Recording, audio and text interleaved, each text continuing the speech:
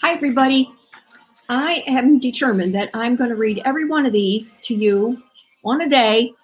Uh, there are 150 different ways to add joy to your life. There's a different idea on every page, and it's a handy little book to have, especially in these trying times.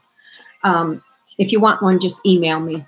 But anyway, uh, one idea is one that's really important to me you know, these days everybody texts, they text everybody or they send an email. They don't even do emails anymore much.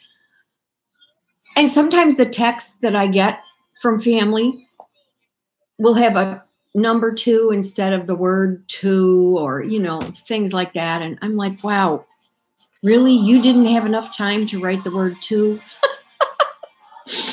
but one of the things that brings people joy is a simple phone call pick up the phone and say, I just wanted to hear your voice. It's amazing how that makes a person feel. I I have gotten phone calls from different friends. In fact, in fact, last week my friend Joanne called me and it was so nice to hear her voice. You know, I see her every day on Facebook.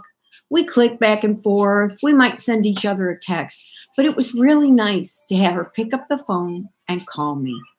So one of the things that might bring you joy is to bring joy to someone else. So pick up the phone and just say, Hey, I was thinking about you today, and I just wanted to hear your voice.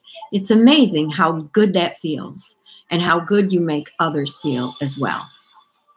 Make a call.